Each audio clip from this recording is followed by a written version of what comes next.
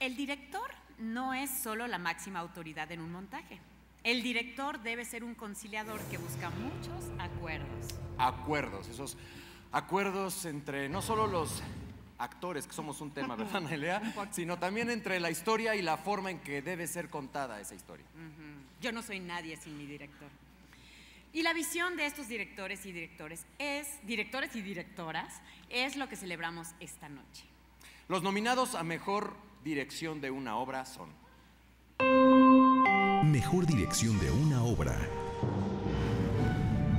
Adrián Vázquez, Wences y Lala. Alejandro Ricaño, Bye Bye Bird.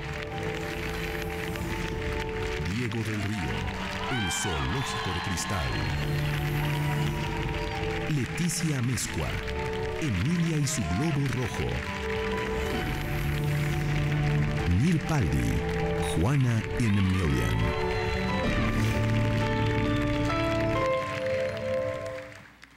Y el premio metropolitano es para Leticia Amezcua. por Emilia y su globo rojo. Hace algunos años, Leticia Amezcua protagonizó Emilia y su globo rojo.